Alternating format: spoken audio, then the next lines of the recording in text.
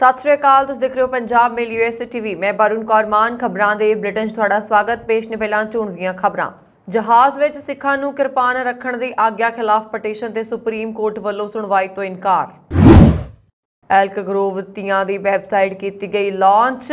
7 ਅਗਸਤ ਨੂੰ ਹੋਣ ਜਾ ਰਹੀਆਂ ਤੀਆਂ ਦੀਆਂ ਤਿਆਰੀਆਂ ਜ਼ੋਰਾਂ ਤੇ, ਔਰਤਾਂ ਵਿੱਚ ਭਾਰੀ ਉਤਸ਼ਾਹ। ਅਮਰੀਕਾ ਵਿੱਚ ਪੰਜਾਬੀ ਭਾਈਚਾਰੇ ਵੱਲੋਂ ਮਨਦੀਪ ਕੌਰ ਲਈ ਇਨਸਾਫ ਦੀ ਮੰਗ, ਪਤੀ ਤੋਂ ਦੁਖੀ ਹੋ ਕੇ ਕੀਤੀ ਸੀ ਖੁਦਕੁਸ਼ੀ। ਚੀਨ ਨੇ ਅਮਰੀਕੀ ਪ੍ਰਤੀਨਿਧਿਤ ਸਭਾ ਦੀ ਸਪੀਕਰ ਨੈਂਸੀ ਪੈਲੋਸੀ ਤੇ ਲਗਾਈਆਂ ਪਾਬੰਦੀਆਂ। ਨਾਰਥ ਕੋਰੀਆ ਦੇ ਤਾਨਾਸ਼ਾਹ ਕਿਮ ਯੋਂਗ ਓ ਨੇ ਨੈਂਸੀ ਪੈਲੋਸੀ ਤੇ ਅਮਰੀਕਾ ਨੂੰ ਦਿੱਤੀ ਧਮਕੀ ਕਿਹਾ, ਚੁਕਾਉਣੀ ਹੋਵੇਗੀ ਭਾਰੀ ਕੀਮਤ। ਅਮਰੀਕਾ ਤੇ ਰੂਸ ਵਿਚਾਲੇ ਜਲਦੀ ਕੁਝ ਖਾਸ ਮੁੱਦਿਆਂ ਤੇ ਹੋਵੇਗੀ ਗੱਲਬਾਤ। ਕੈਲੀਫੋਰਨੀਆ ਵਿੱਚ ਵਾਹਨਾਂ ਦੇ ਆਪਸ ਵਿੱਚ ਟਕਰਾਉਣ ਕਾਰਨ ਵਾਪਰਿਆ ਭਿਆਨਕ ਹਾਦਸਾ। ਪੰਜ ਲੋਕਾਂ ਦੀ ਮੌਤ। ਅਮਰੀਕਾ 'ਚ ਇੱਕ ਕਾਰ ਨੂੰ ਲੱਗੀ ਭਿਆਨਕ ਅੱਗ, ਜ਼ਿੰਦਾ ਸੜੇ ਤਿੰਨ ਬੱਚਿਆਂ ਸਮੇਤ 10 ਲੋਕ। ਤੇ ਹੁਣ ਇਹਨਾਂ ਖਬਰਾਂ ਦਾ ਵਿਸਥਾਰ ਤੇ ਕੁਝ ਹੋਰ ਖਬਰਾਂ।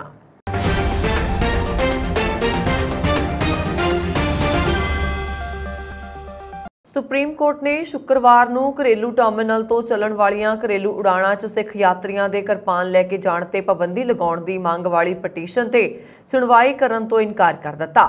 ਜਸਟਿਸ ਅਬਦੁਲ ਨਜ਼ੀਰ ਦੀ ਅਗਵਾਈ ਵਾਲੇ ਬੈਂਚ ਨੇ ਹਾਲਾਂਕਿ ਪਟੀਸ਼ਨ ਕਰਤਾ ਹਿੰਦੂ ਸੈਨਾ ਨੂੰ ਸੰਬੰਧਿਤ ਹਾਈ ਕੋਰਟ ਤੱਕ ਪਹੁੰਚ ਕਰਨ ਦੀ ਆਜ਼ਾਦੀ ਦਿੱਤੀ ਹੈ। ਪਟੀਸ਼ਨਰ ਨੇ bureau of civil aviation security ਵੱਲੋਂ ਜਾਰੀ 4 ਮਾਰਚ 2022 ਦੇ ਹਵਾਬਾਜ਼ੀ ਸੁਰੱਖਿਆ ਆਦੇਸ਼ ਅਤੇ 12 ਮਾਰਚ 2022 ਦੇ ਸੋਧ ਪੱਤਰ ਨੂੰ ਚੁਣੌਤੀ ਦਿੰਦਿਆਂ ਇਲਜ਼ਾਮ ਲਗਾਇਆ ਸੀ ਕਿ ਸਿੱਖਾਂ ਨੂੰ ਦਿੱਤੀ ਗਈ ਛੋਟ ਨੇ ਹਵਾਈ ਅੱਡਿਆਂ, ਜਹਾਜ਼ ਦੇ ਅੰਦਰ ਅਤੇ ਯਾਤਰੀਆਂ ਦੀ ਸੁਰੱਖਿਆ ਵਿੱਚ ਕਮੀਆਂ ਪੈਦਾ ਕੀਤੀਆਂ ਨੇ।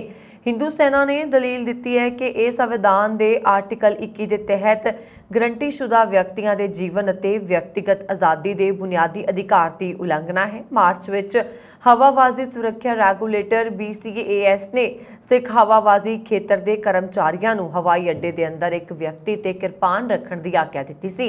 4 ਮਾਰਚ 2020 ਨੂੰ BCAS ਨੇ ਸਿੱਖ ਯਾਤਰੀਆਂ ਨੂੰ ਇਸ ਅਪਵਾਦ ਦੇ ਨਾਲ ਕਿਰਪਾਨ ਰੱਖਣ ਦੀ ਆਗਿਆ ਦਿੱਤੀ ਕਿ ਇਹ ਸਿਰਫ ਸਿੱਖ ਯਾਤਰੀਆਂ ਲਈ ਹੋਏਗੀ ਅਤੇ ਹਵਾਈ ਅੱਡੇ ਤੇ ਕੋਈ ਸਟੇਕ ਹੋਲਡਰ ਜਾਂ ਇਸ ਦਾ ਕਰਮਚਾਰੀ ਅਤੇ ਕਿਸੇ ਵੀ ਟਰਮੀਨਲ ਘਰੇਲੂ ਜਾਂ ਅੰਤਰਰਾਸ਼ਟਰੀ ਵਿੱਚ ਕੰਮ ਕਰਨ ਵਾਲਾ ਨਹੀਂ ਕਰੇਗਾ।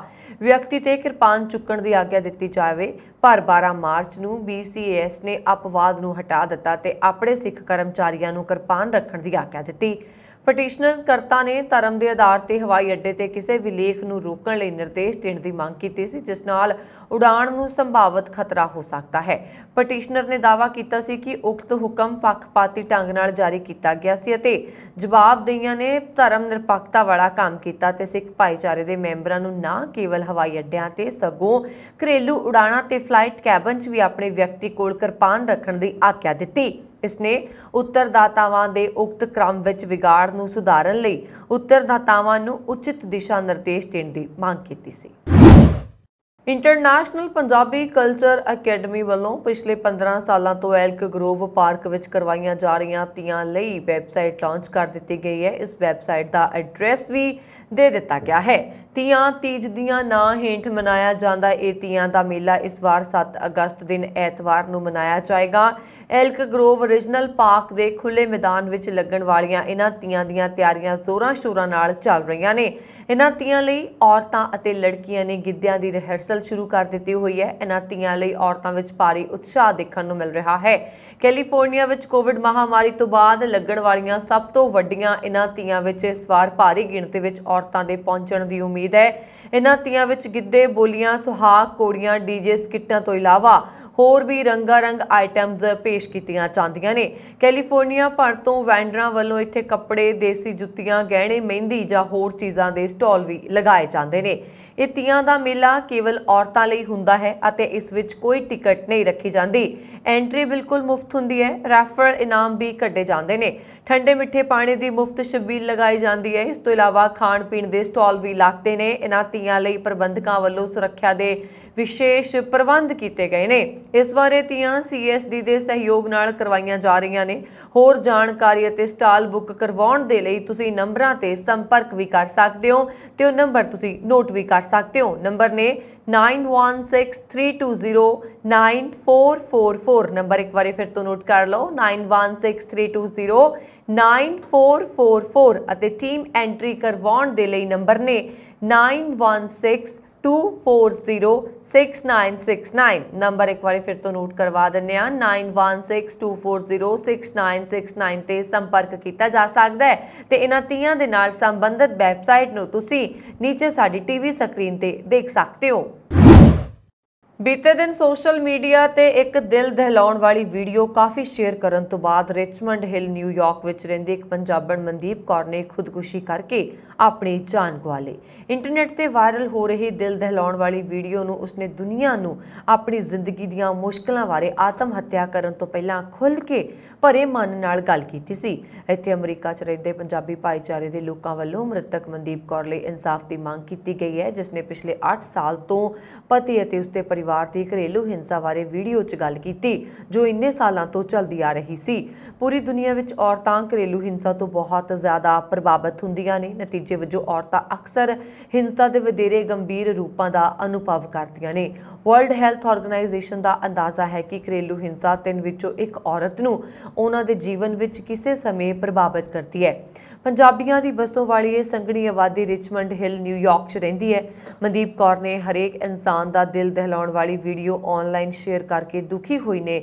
ਖੁਦਕੁਸ਼ੀ ਕਰਕੇ ਆਪਣੀ ਜਾਨ ਗਵਾ ਲਈ ਅਤੇ ਉਸਨੇ ਵੀਡੀਓ ਵਿੱਚ ਆਪਣੇ ਮਾਤਾ-ਪਿਤਾ ਤੇ ਪਰਿਵਾਰ ਤੋਂ ਮਰਨ ਤੋਂ ਪਹਿਲਾਂ ਮੁਆਫੀ ਵੀ ਮੰਗੀ ਅਤੇ ਕਿਹਾ ਕਿ ਉਸਨੇ ਆਪਣੀ ਜ਼ਿੰਦਗੀ ਖਤਮ ਕਰਨ ਦਾ ਆਖਰੀ ਫੈਸਲਾ ਲੈ ਲਿਆ ਹੈ। ਉਸਨੇ ਵੀਡੀਓ ਵਿੱਚ ਇਹ ਵੀ ਦੱਸਿਆ ਕਿ ਉਸਦੇ ਪਤੀ ਰਣਜੋਤ ਵੀਰ ਸਿੰਘ ਸੰਧੂ ਦੇ ਵਿਆਹ ਤੋਂ ਬਾਅਦ ਵੀ ਕਈ ਔਰਤਾਂ ਨਾਲ ਸੰਬੰਧ ਸੀਗੇ। ਮਨਦੀਪ ਕੌਰ ਨੇ ਰੋਂਦੇ ਹੋਏ ਵਾਇਰਲ ਹੋਈ ਵੀਡੀਓ 'ਚ ਇਹ ਗੱਲ ਕਹੀ ਹੈ ਕਿ ਉਸਦੇ ਪਤੀ ਵੱਲੋਂ ਅਨੇਕਾਂ ਵਾਰ ਪਹਿਲਾਂ ਵੀ ਉਸਦਾ ਸਰੀਰਕ ਸ਼ੋਸ਼ਣ ਕੀਤਾ ਗਿਆ। ਮ੍ਰਿਤਕ ਮਨਦੀਪ ਕੌਰ ਦੀ ਵੀਡੀਓ ਦੇ ਨਾਲ ਆਨਲਾਈਨ ਦਿਖਾਈ ਦੇਣ ਵਾਲੀ ਇੱਕ ਹੋਰ ਫੁਟੇਜ ਵਿੱਚ ਦਿਖਾਇਆ ਗਿਆ ਹੈ ਕਿ ਉਸਦਾ ਪਤੀ ਰਣਜੋਤ ਵੀਰ ਸਿੰਘ ਸੰਧੂ ਪਤਨੀ ਮਨਦੀਪ ਕੌਰ ਨੂੰ ਮੁੱਕਾ ਮਾਰ ਰਿਹਾ, ਜਦੋਂ ਉਹਨਾਂ ਦੇ ਬੱਚੇ ਬੈਕਗ੍ਰਾਉਂਡ ਵਿੱਚ ਬੇਵਸ ਹੋ ਕੇ ਰੋ ਰਹੇ ਸੀ।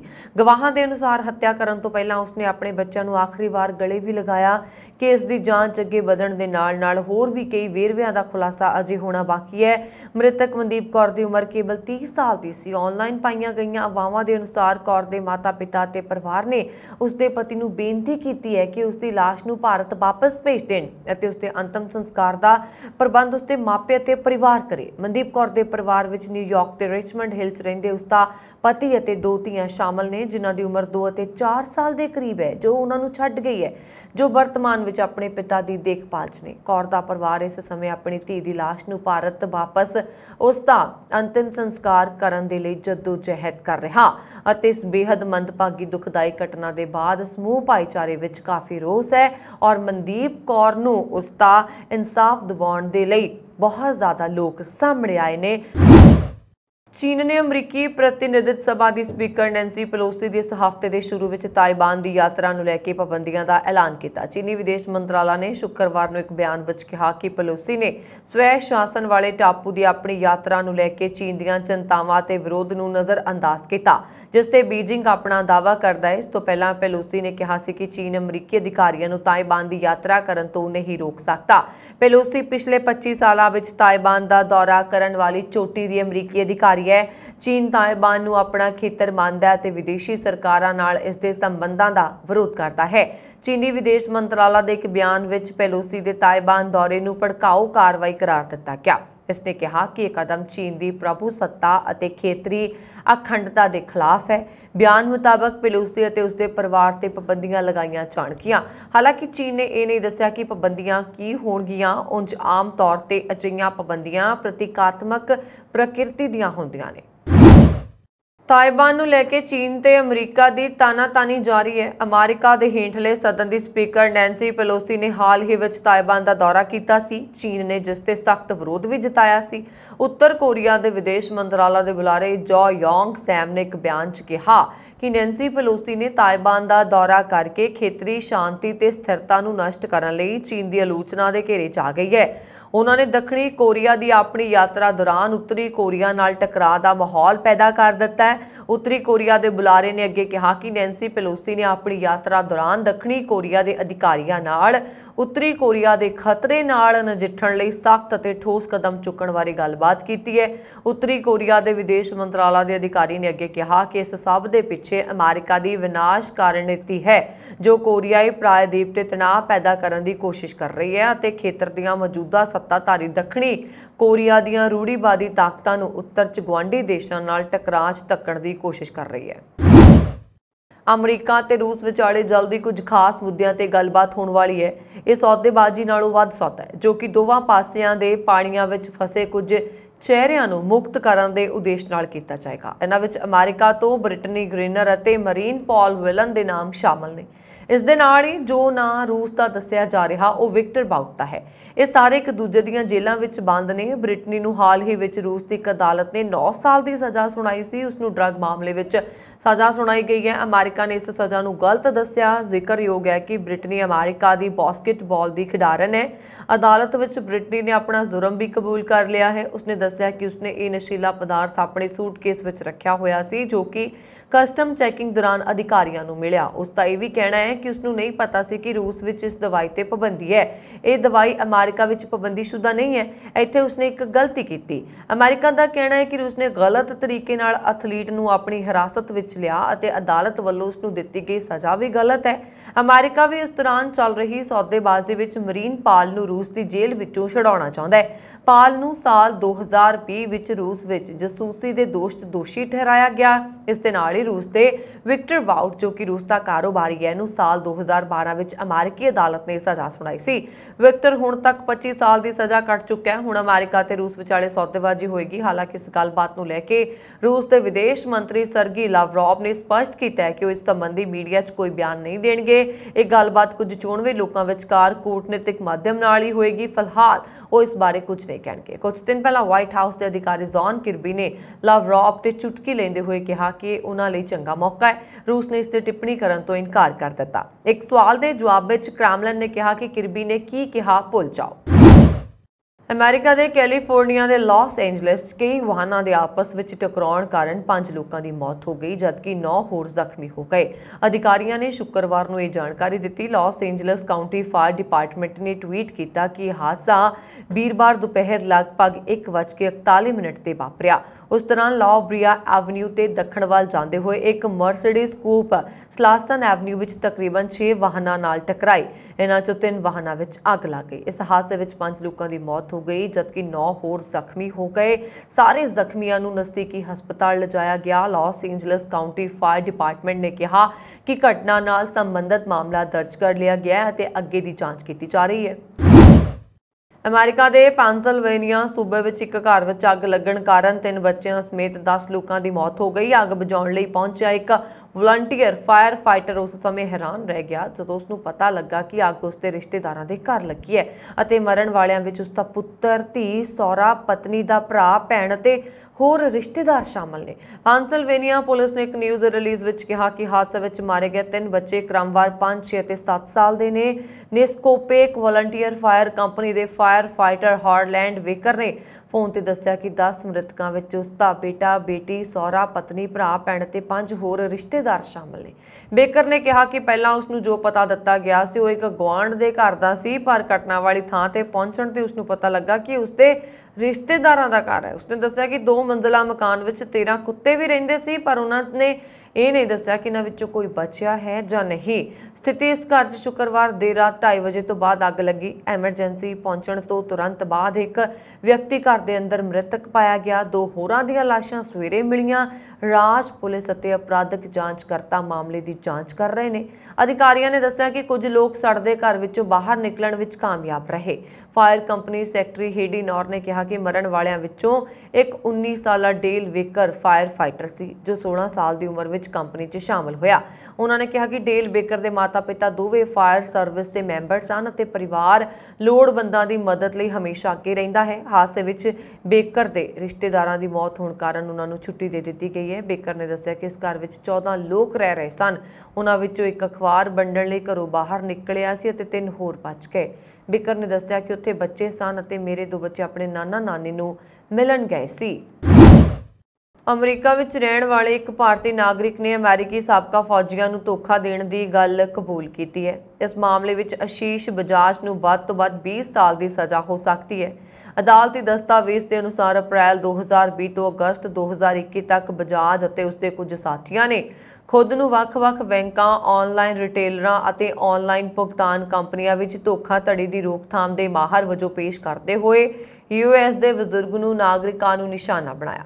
ਦਸਤਾਵੇਜ਼ਾਂ ਦੇ ਅਨੁਸਾਰ ਬਜਾਜ ਅਤੇ ਉਸਦੇ ਸਾਥੀਆਂ ਨੇ ਬਜ਼ੁਰਗ ਲੋਕਾਂ ਨੂੰ ਉਹਨਾਂ ਦੇ ਬੈਂਕ ਖਾਤਿਆਂ ਤੋਂ ਬਜਾਜ ਅਤੇ ਹੋਰਾਂ ਦੁਆਰਾ ਨਿਯੰਤਰਿਤ ਖਾਤਿਆਂ ਵਿੱਚ ਪੈਸੇ ਭੇਜਣ ਲਈ ਕਿਹਾ ਅਤੇ ਕਥਿਤ ਸਟ੍ਰਿੰਗ ਆਪਰੇਸ਼ਨ ਦੇ ਦਿਨਾਂ ਬਾਅਦ ਉਹਨਾਂ ਦੇ ਪੈਸੇ ਵਾਪਸ ਕਰਨ ਦਾ ਝੂਠਾ ਵਾਅਦਾ ਕੀਤਾ। ਪੀੜਤਾਂ ਨੇ ਉਹਨਾਂ ਦੀਆਂ ਗੱਲਾਂ ਵਿੱਚ ਆ ਕੇ ਪੈਸੇ ਟ੍ਰਾਂਸਫਰ ਕਰ ਦਿੱਤੇ। ਇਹ ਪੈਸਾ ਭਾਰਤ, ਚੀਨ, ਸਿੰਗਾਪੁਰ ਅਤੇ ਸੰਯੁਕਤ ਅਰਬ ਅਮੀਰਾਤ ਦੇ ਵੱਖ-ਵੱਖ ਬੈਂਕਾਂ ਨੂੰ ਭੇਜਿਆ ਗਿਆ। ਨਿਆਂ ਮੰਤਰਾਲਾ ਦੇ ਅਨੁਸਾਰ ਪੀੜਤਾਂ ਨੇ ਅਮਰੀਕਾ ਵਿੱਚ ਬਜਾਜ ਦੁਆਰਾ ਖੋਲ੍ਹੇ ਗਏ। ਕਈ ਬੈਂਕ ਖਾਤਿਆਂ ਵਿੱਚ ਵੀ ਆਨਲਾਈਨ ਤਰੀਕਿਆਂ ਨਾਲ ਪੈਸੇ ਭੇਜੇ ਸਨ। ਮੰਤਰਾਲੇ ਮੁਤਾਬਕ ਇਸ ਤਰ੍ਹਾਂ ਨਾਲ ਲੋਕਾਂ ਤੋਂ 2.5 ਲੱਖ ਡਾਲਰ ਤੋਂ ਵੱਧ ਰਾਸ਼ੀ ਠੱਗੀ ਗਈ। ਪੰਜਾਬ ਦੇ ਅੰਮ੍ਰਿਤਸਰ ਹਵਾਈ ਅੱਡੇ ਤੇ ਕਸਟਮ ਵਿਭਾਗ ਨੇ ਇੱਕ ਤਸਕਰ ਨੂੰ ਕਾਬੂ ਕੀਤਾ ਹੈ। ਤਸਕਰ 10 ਲੱਖ ਰੁਪਏ ਦਾ ਸੋਨਾ ਸਰੀਰ ਵਿੱਚ ਲੁਕੋ ਕੇ ਹਵਾਈ ਅੱਡੇ ਤੇ ਪਹੁੰਚਿਆ ਸੀ। ਮੁਲਜ਼ਮ ਦੀ ਪਛਾਣ ਗੁਰਮੇਲ ਸਿੰਘ ਵਾਸੀ ਜਲੰਧਰ ਵਜੋਂ ਹੋਈ ਹੈ। ਫਿਲਹਾਲ ਉਸ ਨੂੰ ਪੁੱਛਗਿੱਛ ਲਈ ਹਿਰਾਸਤ ਵਿੱਚ ਲੈ ਲਿਆ ਗਿਆ। ਜਾਣਕਾਰੀ ਅਨੁਸਾਰ Gurmel Singh air India express ਦੀ ਉਡਾਣ ਵਿੱਚ ਦੁਬਈ ਤੋਂ ਅੰਮ੍ਰਿਤਸਰ ਪਹੁੰਚਿਆ ਸੀ। ਉਹ ਸਾਰੀਆਂ ਸੁਰੱਖਿਆ ਜਾਂਚਾਂ, ਮੈਟਲ ਡਿਟੈਕਟਰਾਂ ਵਿੱਚੋਂ ਲੰਘਿਆ, ਪਰ ਜਦੋਂ ਉਹ ਐਕਸ-ਰੇ ਰਾਹੀਂ ਲੰਘਿਆ ਤਾਂ ਕਸਟਮ ਨੂੰ ਸ਼ੱਕ ਹੋਇਆ। ਉਸ ਦੇ ਸਰੀਰ ਵਿੱਚ ਕੁਝ ਅਜੀਬ ਜਿਹਾ ਨਜ਼ਰ ਆਇਆ। ਇਸ ਤੋਂ ਬਾਅਦ ਗੁਰਮੇਲ ਨੂੰ ਹਿਰਾਸਤ ਵਿੱਚ ਲੈ ਕੇ ਜਾਂਚ ਕੀਤੀ ਗਈ। ਜ਼ਬਤ ਕੀਤੇ ਗਏ ਸੋਨੇ ਦੀ ਅੰਤਰਰਾਸ਼ਟਰੀ ਬਾਜ਼ਾਰ ਵਿੱਚ ਕੀਮਤ 10 ਲੱਖ ਰੁਪਏ ਦੇ ਕਰੀਬ ਦੱਸੀ ਜਾਂਦੀ ਹੈ, ਜਿਸ ਨੂੰ ਜ਼ਬਤ ਕਰ ਲਿਆ ਗਿਆ। ਕਸਟਮ ਵਿਭਾਗ ਪਹਿਲਾਂ ਵੀ ਕੀਤੀ ਗਈ ਤਸਕਰੀ ਬਾਰੇ ਜਾਣਨਾ ਚਾਹੁੰਦਾ ਹੈ। ਅਮਰੀਕੀ ਸੈਨੇਟ ਨੇ ਭਾਰਤੀ ਅਮਰੀਕੀ ਵਕੀਲ ਰੂਪਾਲੀ ਐਚ ਦੇਸਾਈ ਦੀ ਨੌਵੇਂ ਸਰਕਟ ਲਈ ਅਮਰੀਕੀ ਕੋਰਟ ਆਫ ਅਪੀਲਜ਼ ਲਈ ਨਿਯੁਕਤੀ ਦੀ ਪੁਸ਼ਟੀ ਕਰ ਦਿੱਤੀ ਹੈ। ਇਸ ਨਾਲ ਉਹ ਇੱਕ ਸ਼ਕਤੀਸ਼ਾਲੀ ਅਦਾਲਤ ਵਿੱਚ ਜੱਜ ਵਜੋਂ ਨਿਯੁਕਤ ਹੋਣ ਵਾਲੀ ਦੱਖਣੀ ਏਸ਼ੀਆਈ ਮੂਲ ਦੀ ਪਹਿਲੀ ਜੱਜ ਬਣ ਗਈ। ਅਮਰੀਕਾ ਦੀਆਂ ਦੋਵੇਂ ਦਲਾਂ ਡੈਮੋਕ੍ਰੈਟਿਕ ਪਾਰਟੀ ਅਤੇ ਰਿਪਬਲਿਕਨ ਪਾਰਟੀ ਦੇ 67 ਸੰਸਦ ਮੈਂਬਰਾਂ ਨੇ ਦੇਸਾਈ ਦੇ ਪੱਖ ਵਿੱਚ VOTING ਕੀਤੀ, ਜਦਕਿ 29 ਮੈਂਬਰਾਂ ਨੇ ਉਹਨਾਂ ਦੇ ਖਿਲਾਫ ਵੋਟ ਪਾਈ। ਨੌਵੇਂ ਸਰਕਟ ਦਾ ਮੁੱਖ ਦਫ਼ਤਰ ਸਾਨ ਫਰਾਂਸਿਸਕੋ ਵਿੱਚ ਹੈ। ਇਹ ਦੇਸ਼ ਦੀਆਂ 13 ਅਪੀਲੀ ਅਦਾਲਤਾਂ ਵਿੱਚ ਸਭ ਤੋਂ ਵੱਡੀ ਹੈ। ਓਮ ਜੈ ਜਗਦੀਸ਼ ਹਰੇ ਅਤੇ ਜਨ ਗਨ ਮਨ ਦੇ ਨਵੇਂ ਆਦੇਸ਼ ਵਿੱਚ ਪੇਸ਼ ਕਰਕੇ ਸਰੋਤਿਆਂ ਨੂੰ ਕੀਲਣ ਵਾਲੀ ਅਫਰੀਕੀ ਅਮਰੀਕੀ ਗਾਇਕਾ ਮੈਰੀ ਮਿਲਵੇਨ ਭਾਰਤ ਦੀ ਆਜ਼ਾਦੀ ਦੀ 75ਵੀਂ ਵਰ੍ਹੇਗੰਢ ਮੌਕੇ ਮਨਾਏ ਜਾ ਰਹੇ ਜਸ਼ਨਾਂ ਵਿੱਚ ਸ਼ਾਮਲ ਹੋਣ ਲਈ ਦਿੱਲੀ ਆਉਣਗੇ। Indian council for culture relations ਦੇ ਸੱਦੇ ਤੇ ਭਾਰਤ ਆਉਣ ਤੋਂ ਪਹਿਲਾਂ ਮਿਲਬੇਨ ਨੇ ਇੱਕ ਬਿਆਨ ਜਾਰੀ ਕਰਦਿਆਂ ਕਿਹਾ ਕਿ 1959 ਵਿੱਚ ਭਾਰਤ ਦੀ ਯਾਤਰਾ ਕਰਨ ਵਾਲੇ doctor Martin Luther King junior ਦੇ ਨਕਸ਼ੇ ਕਦਮਾਂ ਤੇ ਚੱਲਦਿਆਂ ਮੈਨੂੰ ਭਾਰਤ ਦੇ 75ਵੇਂ ਸੁਤੰਤਰ ਦਿਵਸ ਸਮਾਰੋਹ ਵਿੱਚ ਇੱਕ ਸੱਭਿਆਚਾਰਕ ਰਾਜਦੂਤ ਵਜੋਂ ਅਮਰੀਕਾ ਦੀ ਨੁਮਾਇੰਦਗੀ ਕਰਨ ਦਾ ਮੌਕਾ ਮਿਲਣ ਤੇ ਬਹੁਤ ਮਾਣ ਮਹਿਸੂਸ ਹੋ ਰਿਹਾ ਹੈ। ਬਿਆਨ ਦੇ ਅਨੁਸਾਰ ਮਿਲਬੇਨ ਪਹਿਲੀ ਅਮਰੀਕੀ ਕਲਾਕਾਰ ਹੈ, ਜਿਨ੍ਹਾਂ ਨੂੰ ICCR ਨੇ ਸੁਤੰਤਰਤਾ ਦਿਵਸ ਸਮਾਰੋਹ ਵਿੱਚ ਸ਼ਾਮਲ ਹੋਣ ਲਈ ਸੱਦਾ ਭੇਜਿਆ ਹੈ। ਉਹ ਅਮਰੀਕਾ ਦੀ ਨੁਮਾਇੰਦਗੀ ਕਰਨ ਵਾਲੇ ਸਰਕਾਰੀ ਮਹਿਮਾਨ ਹੋਣਗੇ। ਮਿਲਬੇਨ ਨੇ ਕਿਹਾ, ਮੈਂ ਇਸ ਖੁਸ਼ਹਾਲ ਵਤਨ ਦਾ ਅਨੁਭਵ ਕਰਨ ਦੁਨੀਆ ਭਰ ਵਿੱਚ ਭਾਰਤ ਅਤੇ ਭਾਰਤੀ ਭਾਈਚਾਰੇ ਦੇ ਨਾਲ ਆਪਣੇ ਸਾਰਥਕ ਸੰਬੰਧਾਂ ਦਾ ਜਸ਼ਨ ਮਨਾਉਣ ਅਤੇ ਭਾਰਤ ਦੀ ਆਜ਼ਾਦੀ ਦੇ ਇਸ ਮਹੱਤਵਪੂਰਨ ਸਮਾਰੋਹ ਦੌਰਾਨ ਅਮਰੀਕਾ ਤੇ ਭਾਰਤ ਦਰਮਿਆਨ ਮਹੱਤਵਪੂਰਨ ਲੋਕਤਾਂਤਰਿਕ ਗੱਠਜੋੜ ਨੂੰ ਮਜ਼ਬੂਤ ਕਰਨ ਦਾ ਮੌਕਾ ਪ੍ਰਾਪਤ ਕਰਕੇ ਬਹੁਤ ਖੁਸ਼ ਹਾਂ। ਉਹਨਾਂ ਨੇ ਕਿਹਾ, ਜਦੋਂ ਮੈਂ ਭਾਰਤ ਦੀ ਆਪਣੀ ਪਹਿਲੀ ਯਾਤਰਾ ਦੀ ਤਿਆਰੀ ਕਰ ਰਹੀ ਹਾਂ ਤਾਂ ਮੇਰਾ ਦਿਲ ਦੀਆਂ ਧੜਕਣਾਂ ਡਾਕਟਰ ਕਿੰਗ ਦੇ ਇਹਨਾਂ ਸ਼ਬਦਾਂ ਨੂੰ ਦੁਹਰਾ ਰਹੀਆਂ ਨੇ ਕਿ ਦੂਜੇ ਦੇਸ਼ਾਂ ਵਿੱਚ ਮੈਂ ਇੱਕ ਸੈਲਾਨੀ ਵਜੋਂ ਜਾ ਸਕਦੀ ਹਾਂ, ਪਰ ਭਾਰਤ ਵਿੱਚ ਮੈਂ ਇੱਕ ਸ਼ਰਧਾਲੂ ਦੇ ਰੂਪ ਵਿੱਚ ਆਉਂਦੀ ਹਾਂ। ਮਿਲਬੇਨ ਆਪਣੀ ਭਾਰਤੀ ਫੇਰੀ ਦੌਰਾਨ ਦਿੱਲੀ ਤੋਂ ਇਲਾਵਾ ਲਖਨਊ ਜਾਣ ਦੀ ਵੀ ਯੋਜਨਾ ਬਣਾ ਰਹੇ ਨੇ। ਕੈਨੇਡਾ ਦੇ ਬ੍ਰੈਂਪਟਨ ਵਿੱਚ ਇੱਕ ਅੰਤਰਰਾਸ਼ਟਰੀ ਵਿਦਿਆਰਥੀ ਦਾ ਇੱਕ ਫਾਰਮ ਹਾਊਸ ਵਿੱਚ ਬੀਤੇ ਦਿਨ ਕਤਲ ਕੀਤੇ ਜਾਣ ਦੀ ਮੰਦਭਾਗੀ ਖਬਰ ਸਾਹਮਣੇ ਆਈ ਹੈ। ਮਾਰੇ ਗਏ ਅੰਤਰਰਾਸ਼ਟਰੀ ਵਿਦਿਆਰਥੀ ਲਖਵੀਰ ਸਿੰਘ ਬੈਂਸ ਉਰਫ ਲੱਕੀ ਦੇ ਮਾਮਲੇ ਵਿੱਚ ਕੈਨੇਡਾ ਦੀ ਪੀਲ ਪੁਲਿਸ ਵੱਲੋਂ ਉਸ ਦੇ ਹੀ ਇੱਕ ਦੋਸਤ ਸ਼ਰਨਦੀਪ ਕੁਮਾਰ ਨੂੰ ਗ੍ਰਿਫਤਾਰ ਅਤੇ ਚਾਰਜ ਕੀਤਾ ਗਿਆ, ਜਿਸ ਦੀ ਕੋਰਟ ਵਿੱਚ ਪੇਸ਼ੀ 2 ਸਤੰਬਰ ਦੀ ਪਈ ਹੈ।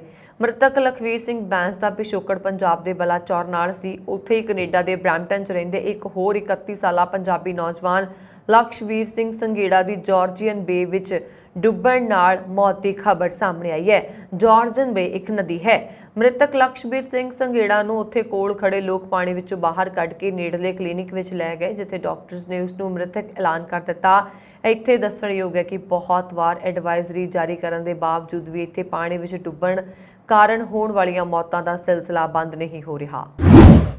ਕੈਨੇਡਾ ਦੇ ਹਸਪਤਾਲਾਂ ਵਿੱਚ ਸਟਾਫ ਦੀ ਘਾਟ ਕਾਰਨ ਮਰੀਜ਼ਾਂ ਨੂੰ ਵੱਡੀਆਂ ਸਮੱਸਿਆਵਾਂ ਦਾ ਸਾਹਮਣਾ ਕਰਨਾ ਪੈ ਰਿਹਾ। ਇਸ ਦੌਰਾਨ ਐਨਡੀਪੀ ਲੀਡਰ ਜਗਮੀਤ ਸਿੰਘ ਨੇ ਲਿਬਰਲ ਸਰਕਾਰ ਅੱਗੇ ਮੁੱਦਾ ਚੁੱਕਿਆ। ਉਹਨਾਂ ਨੇ ਪ੍ਰਧਾਨ ਮੰਤਰੀ ਜਸਟਿਨ ਟਰੂਡੋ ਅੱਗੇ ਮੰਗ ਰੱਖੀ ਹੈ ਕਿ ਇਸ ਮਾਮਲੇ ਨੂੰ ਹੱਲ ਕਰਨ ਲਈ ਕੌਮਾਂਤਰੀ ਪੱਧਰ ਤੇ ਸਿਖਲਾਈ ਪ੍ਰਾਪਤ ਸਿਹਤ ਕਾਮਿਆਂ ਦੀ ਨਿਯੁਕਤੀ ਦੀ ਪ੍ਰਕਿਰਿਆ ਨੂੰ ਸੁਚਾਰੂ ਬਣਾਇਆ ਜਾਵੇ ਅਤੇ ਉਹਨਾਂ ਦੀਆਂ ਤਨਖਾਹਾਂ ਵਿੱਚ ਵਾਧਾ ਕਰਦੇ ਹੋਏ ਲੰਬੇ ਸਮੇਂ ਲਈ ਦੇਖਭਾਲ ਕਰਨ ਵਾਲੇ ਕਰਮਚਾਰੀਆਂ ਦੀ ਨਿਯੁਕਤੀ ਕੀਤੀ ਜਾਵੇ। ਜਗਮੀਤ ਸਿੰਘ ਨੇ ਮੁੱਦਾ ਓਨਟਾਰੀਓ ਦੀ ਨਰਸਜ ਐਸੋਸੀਏਸ਼ਨ ਦੀ ਪ੍ਰਧਾਨ ਕੈਥਰੀਨ ਹੋਏ ਨਾਲ ਕੀਤੀ ਗਈ ਇੱਕ ਪ੍ਰੈਸ ਕਾਨਫਰੰਸ ਦੌਰਾਨ ਚੁੱਕਿਆ। ਉਹਨਾਂ ਨੇ ਕਿਹਾ ਕਿ ਮੌਜੂਦਾ ਸਮੇਂ ਦੇਸ਼ ਦੇ ਹੈਲਥ ਕੇਅਰ ਸਿਸਟਮ ਦਾ ਮਾੜਾ ਹਾਲ ਹੋ ਚੁੱਕਾ ਹੈ। ਸਟਾਫ ਦੀ ਘਾਟ ਕਾਰਨ ਦੇਸ਼ ਭਰ ਵਿੱਚ ਕਈ ਐਮਰਜੈਂਸੀ ਰੂਮਸ ਆਰਜ਼ੀ ਤੌਰ ਤੇ ਬੰਦ ਹੋ ਗਏ ਹੈ ਜਾਂ ਫਿਰ ਉਹਨਾਂ ਵਿੱਚ ਸੇਵਾਵਾਂ ਘਟਾ ਦਿੱਤੀਆਂ ਗਈਆਂ। ਉਧਰ ਕਈ ਨਰਸਾਂ ਕਿੱਤਾ ਦੀ ਛੱਡ ਦਿੱਤਾ ਹੈ। ਇਸ ਕਾਰਨ ਕੈਨੇਡਾ ਵਾਸੀਆਂ ਨੂੰ ਸਮੇਂ ਸਿਰ ਅਤੇ ਢੁਕਵੀਆਂ ਸਿਹਤ ਸੇਵਾਵਾਂ ਨਹੀਂ ਮਿਲ ਰਹੀਆਂ। ਅੰਟਾਰੀਓ ਦੇ ਪ੍ਰੀਮੀਅਰ ਡਗ ਫੋਰਡ ਵੱਲੋਂ ਬੀਤੇ ਦਿਨ ਇੱਕ ਪ੍ਰੈਸ ਕਾਨਫਰੰਸ ਕੀਤੀ ਗਈ, ਜਿਸ ਵਿੱਚ ਉਹਨਾਂ ਨੇ ਸੂਬੇ 'ਚ ਨੌਕਰੀਆਂ ਦੇ ਮੌਕੇ ਪੈਦਾ ਕਰਨ ਲਈ ਜਿੱਥੇ ਆਟੋਮੋਟਿਵ ਖੇਤਰ ਵਿੱਚ ਮੁਫਤ ਸਿਖਲਾਈ ਦੇਣ ਦੀ ਗੱਲ ਕਹੀ ਹੈ, ਉੱਥੇ ਸਟਾਫ ਦੀ ਘਾਟ ਨਾਲ ਜੂਝ ਰਹੇ ਹਸਪਤਾਲਾਂ ਦੇ ਮੁੱਦੇ ਤੇ ਵੀ ਚਰਚਾ ਕੀਤੀ। ਸਟ੍ਰੈਟਫੋਰਡ ਵਿੱਚ ਇੱਕ ਨਿਊਜ਼ ਕਾਨਫਰੰਸ ਵਿੱਚ ਅੰਟੋਰੀਓ ਦੇ ਪ੍ਰੀਮੀਅਰ ਡਗ ਫੋਰਡ ਨੇ ਐਲਾਨ ਕੀਤਾ ਕਿ ਉਹਨਾਂ ਦੀ ਸਰਕਾਰ ਸੂਬੇ ਦੇ ਆਟੋਮੋਟਿਵ ਨਿਰਮਾਣ ਖੇਤਰ ਵਿੱਚ ਨੌਕਰੀਆਂ ਦੀ ਘੱਟ ਨੁਮਾਇੰਦਗੀ ਵਾਲੇ ਸਮੂਹਾਂ ਦੇ 500 ਲੋਕਾਂ ਨੂੰ ਮੁਫਤ ਸਿਖਲਾਈ ਪ੍ਰਦਾਨ ਕਰਨ ਲਈ 5 ਮਿਲੀਅਨ ਡਾਲਰ ਦਾ ਨਿਵੇਸ਼ ਕਰ ਰਹੀ ਹੈ। ਇਸ ਤੋਂ ਇਲਾਵਾ ਉਹਨਾਂ ਨੇ ਹਸਪਤਾਲਾਂ ਵਿੱਚ ਸਟਾਫ ਦੀ ਘਾਟ ਕਰਨ ਆ ਰਹੀ ਸਮੱਸਿਆ ਬਾਰੇ ਵੀ ਚਰਚਾ ਕੀਤੀ। ਇਸ ਮੌਕੇ ਉਹਨਾਂ ਨਾਲ ਸੂਬਾਈ ਮੰਤਰੀ ਮੈਂਟੋ ਵੀ ਸ਼ਾਮਲ ਹੋਏ। ਫੋਰਡ ਨੇ ਨਾਲ ਹੀ ਕਿਹਾ ਕਿ ਉਹ ਸੂਬੇ ਵਿੱਚ ਵਿਦੇਸ਼ੀ ਨਰਸਾਂ ਦੀ ਪੜ੍ਹਾਈ ਤੇ ਤਜਰਬੇ ਨੂੰ ਮਾਨਤਾ ਦੇਣ ਲਈ ਪੂਰੀ ਤੇਜ਼ੀ ਨਾਲ ਕਦਮ ਪੁੱਟ ਰਹੀ ਹੈ। ਕੈਨੇਡਾ ਵਿੱਚ ਘਰਾਂ ਨੂੰ ਅੱਗ ਲੱਗਣ ਦੀਆਂ ਇੰਨੀਆਂ ਘਟਨਾਵਾਂ ਵਾਪਰ ਰਹੀਆਂ ਨੇ ਕਿ ਇਸ ਵਿੱਚ ਕੇਵਲ ਮਾਲੀ ਹੀ ਨਹੀਂ, ਬਲਕਿ ਜਾਨੀ ਨੁਕਸਾਨ ਵੀ ਹੋ ਰਿਹਾ। ਤਾਜ਼ਾ ਮਾਮਲਾ ਟੋਰਾਂਟੋ ਤੋਂ ਸਾਹਮਣੇ ਆਇਆ, ਜਿੱਥੇ ਇੱਕ ਘਰ ਵਿੱਚ ਭਿਆਨਕ ਅੱਗ ਲੱਗਣ ਕਾਰਨ ਇੱਕ ਵਿਅਕਤੀ ਦੀ ਮੌਤ ਹੋ ਗਈ।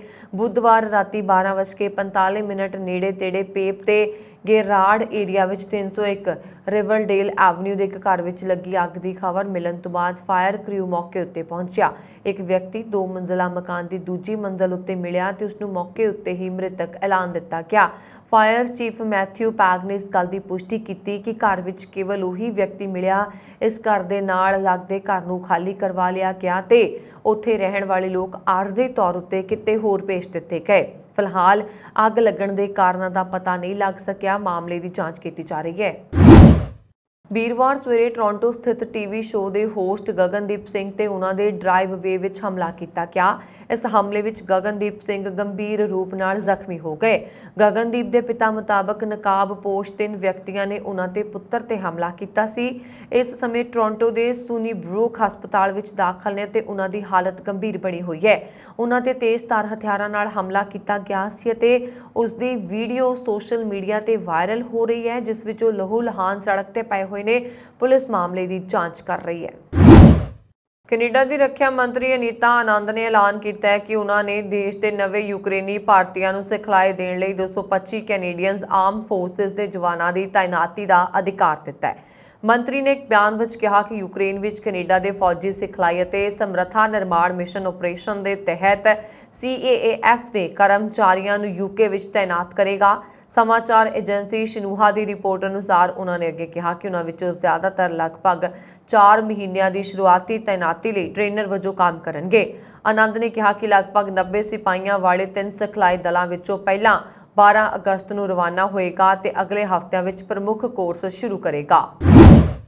ਅਫਗਾਨਿਸਤਾਨ ਦੀ ਰਾਜਧਾਨੀ ਕਾਬੁਲ ਵਿੱਚ ਦੇਰ ਰਾਤ ਇੱਕ ਸ਼ੀਆ ਮਸਜਿਦ ਨੇੜੇ ਹੋਏ ਦੋ ਲੜੀਵਾਰ ਧਮਾਕਿਆਂ 'ਚ 8 ਲੋਕਾਂ ਦੀ ਮੌਤ ਹੋ ਗਈ ਅਤੇ 18 ਜ਼ਖਮੀ ਹੋ ਗਏ। ਰਿਪੋਰਟ ਮੁਤਾਬਕ ਸ਼ੁੱਕਰਵਾਰ ਨੂੰ ਮਸਜਿਦ ਦੇ ਕੋਲ ਖੜੀ ਇੱਕ ਗੱਡੇ ਵਿੱਚ ਧਮਾਕਾ ਹੋਇਆ। ਤਾਲਿਬਾਨ ਦੇ ਇੱਕ ਸੀਨੀਅਰ ਅਧਿਕਾਰੀ ਨੇ ਇਸ ਦੀ ਪੁਸ਼ਟੀ ਕੀਤੀ ਹੈ। ਇਸਲਾਮਿਕ ਸਟੇਟ ਨੇ ਇਸ ਧਮਾਕੇ ਦੀ ਜ਼ਿੰਮੇਵਾਰੀ ਲਈ ਹੈ। ਧਮਾਕਾ ਔਰਤਾਂ ਨੂੰ ਨਿਸ਼ਾਨਾ ਬਣਾ ਕੇ ਕੀਤਾ ਗਿਆ ਸੀ। ਪੂਰਬੀ ਥਾਈਲੈਂਡ ਵਿੱਚ ਤੜਕੇ ਪੱਬ ਵਿੱਚ ਭਿਆਨਕ ਅੱਗ ਲੱਗਣ ਕਾਰਨ ਘੱਟੋ-ਘੱਟ 13 ਵਿਅਕਤੀਆਂ ਦੀ ਮੌਤ ਹੋ ਗਈ ਅਤੇ ਦਰਜਨਾਂ ਜ਼ਖਮੀ ਹੋ ਗਏ। ਪੁਲਿਸ ਅਤੇ ਬਚਾਅ ਦਲ ਦੇ ਕਰਮਚਾਰੀਆਂ ਨੇ ਦੱਸਿਆ ਕਿ ਅੱਗ ਤੇ ਕਾਬੂ ਪਾਉਣ 'ਚ 2 ਘੰਟੇ ਲੱਗੇ। ਪਾਕਿਸਤਾਨ ਵਿੱਚ ਪਿਛਲੇ ਕੁਝ ਹਫ਼ਤਿਆਂ ਵਿੱਚ ਮੀਂਹ ਕਾਰਨ ਆਏ ਹੜ੍ਹਾਂ 'ਚ ਮਰਨ ਵਾਲਿਆਂ ਦੀ ਗਿਣਤੀ 550 ਤੱਕ ਪਹੁੰਚ ਗਈ ਹੈ, ਜਿਸ ਵਿੱਚ ਦੱਖਣ ਪੱਛਮੀ ਸੂਬੇ ਬਲੋਚਿਸਤਾਨ ਵਿੱਚ ਦੂਰ ਦਰਾਡੇ ਦੇ ਲੋਕ ਪ੍ਰਭਾਵਿਤ ਹੋਏ। ਡੀਪੀਏ ਨਿਊਜ਼ ਏਜੰਸੀ ਨੇ ਐਨਡੀਐਮਏ ਦੀ ਰਿਪੋਰਟ ਦੇ ਹਵਾਲੇ ਨਾਲ ਕਿਹਾ ਕਿ ਮੀਂਹ ਅਤੇ ਹੜ੍ਹਾਂ ਨੇ 40000 ਤੋਂ ਵੱਧ ਘਰਾਂ ਅਤੇ 2500 ਕਿਲੋਮੀਟਰ ਤੋਂ ਵੱਧ ਸੜਕਾਂ ਨੂੰ ਨੁਕਸਾਨ ਪਹੁੰਚਾਇਆ। ਹਜ਼ਾਰਾਂ ਲੋਕ ਬੇਘਰ ਹੋ ਗਏ ਅਤੇ ਦੂਰ ਦੁਰਾਡੇ ਦੇ ਪਿੰਡਾਂ ਵਿੱਚ ਫਸੇ ਹੋਏ ਨੇ। ਬਲੋਚਿਸਤਾਨ ਅਤੇ ਸਿੰਧ ਪ੍ਰਾਂਤ ਜਲਵਾਯੂ ਪਰਿਵਰਤਨ ਦੀਆਂ ਵਧੀਆਂ ਚਿੰਤਾਵਾਂ ਦੇ ਵਿਚਕਾਰ ਦੱਖਣੀ ਏਸ਼ੀਆਈ ਦੇਸ਼ ਵਿੱਚ ਰਿਕਾਰਡ ਇਤਿਹਾਸ ਵਿੱਚ ਸਭ ਤੋਂ ਭਾਰੀ ਬਾਰਿਸ਼ ਹੋਣ ਤੋਂ ਬਾਅਦ ਹੜ੍ਹਾਂ ਨਾਲ ਸਭ ਤੋਂ ਵੱਧ ਪ੍ਰਭਾਵਿਤ ਹੋਏ। ਹੜ੍ਹ ਪ੍ਰਭਾਵਿਤ ਇਲਾਕਿਆਂ 'ਚ ਬੱਚਿਆਂ ਸਮੇਤ ਲੱਖਾਂ ਲੋਕਾਂ ਨੂੰ ਪਾਣੀ ਨਾਲ ਹੋਣ ਵਾਲੀਆਂ ਬਿਮਾਰੀਆਂ ਦਾ ਖਤਰਾ ਹੈ, ਜਿੱਥੇ ਫੌਜ ਅਤੇ ਬਚਾਅ ਏਜੰਸੀਆਂ ਪਹੁੰਚ ਕੇ ਫਸੇ ਲੋਕਾਂ ਨੂੰ ਬਚਾਉਣ ਦੀ ਕੋਸ਼ਿਸ਼ ਕਰ ਰਹੀਆਂ ਨੇ। ਸਰਕਾਰੀ ਏਜੰਸੀਆਂ ਅਤੇ ਫੌਜ ਨੇ ਹੜ੍ਹ ਪ੍ਰਭਾਵਿਤ ਖੇਤਰਾਂ ਵਿੱਚ ਸਹਾਇਤਾ ਅਤੇ ਰਾਹਤ ਕੈਂਪ ਸਥਾਪਿਤ ਕੀਤੇ ਨੇ ਅਤੇ ਪਰਿਵਾਰਾਂ ਨੂੰ ਮੁੜ ਬਸਾਉਣ ਅਤੇ ਭੋਜਨ ਤੇ ਦਵਾਈਆਂ ਮੁਹੱਈਆ ਕਰਵਾਉਣ ਵਿੱਚ ਮਦਦ ਲਈ ਕੰਮ ਕਰ ਰਹੇ ਨੇ। ਰਾਸ਼ਟਰੀ ਆਫਤ ਪ੍ਰਬੰਧਨ ਅਥਾਰਟੀ ਨੇ ਸ਼ੁੱਕਰਵਾਰ ਨੂੰ ਕਿਹਾ ਕਿ ਮੌਤਾਂ ਤੋਂ ਇਲਾਵਾ ਹੜ੍ਹਾਂ ਨੇ 46200 ਤੋਂ ਵੱਧ ਘਰਾਂ ਨੂੰ ਨੁਕਸਾਨ ਪਹੁੰਚਾਇਆ। ਪ੍ਰਧਾਨ ਮੰਤਰੀ ਸ਼ਹਬਾਜ਼ ਸ਼ਰੀਫ ਨੇ ਪ੍ਰਭਾਵਿਤ ਇਲਾਕਿਆਂ ਦੇ ਦੌਰੇ ਦੌਰਾਨ ਕਿਹਾ, ਅਸੀਂ ਹੜ੍ਹ ਪੀੜਤਾਂ ਦੇ ਵਿਆਪਕ ਰਾਹਤ ਅਤੇ ਮੁੜ ਵਸੇਵੇ ਲਈ ਪੂਰੀ ਕੋਸ਼ਿਸ਼ ਕਰ ਰਹੇ ਹਾਂ। ਪਰ ਬਲੋਚਿਸਤਾਨ ਸੂਬਾਈ ਸਰਕਾਰ ਨੇ ਕਿਹਾ ਕਿ ਉਹਨਾਂ ਨੂੰ ਹੋਰ ਫੰਡਾਂ ਦੀ ਲੋੜ ਹੈ ਅਤੇ ਸਹਾਇਤਾ ਲਈ ਅੰਤਰਰਾਸ਼ਟਰੀ ਸੰਸਥਾਵਾਂ ਨੂੰ ਅਪੀਲ ਕੀਤੀ ਹੈ। ਹਾਲ ਹੀ ਦੇ ਸਾਲਾਂ ਵਿੱਚ ਪਾਕਿਸਤਾਨ ਦੀ ਹਵਾ ਦੀ ਗੁਣਵੱਤਾ ਅਚਾਨਕ ਹੜ੍ਹਾਂ ਗਰਮੀ ਦੀਆਂ ਲਹਿਰਾਂ, ਬੱਦਲ ਫਟਣ, ਸੋਕੇ ਤੇ ਧੁੰਦ ਕਾਰਨ ਵਿਗੜ ਗਈ ਹੈ। ਇਹ ਸਨ ਹੁਣ ਤੱਕ ਦੀਆਂ ਖਬਰਾਂ। ਮੈਨੂੰ ਬਰਨ ਕੌਰ ਮਾਨ ਨੂੰ ਦਿਵਾ ਗਿਆ ਹੋਰ ਖਬਰਾਂ ਦੇ ਲਈ ਸਾਡਾ YouTube ਚੈਨਲ ਪੰਜਾਬ ਮੇਰੀ ਯੂਐਸਏ ਟੀਵੀ ਜ਼ਰੂਰ ਸਬਸਕ੍ਰਾਈਬ ਕਰੋ। ਸਤਿ ਸ਼੍ਰੀ ਅਕਾਲ।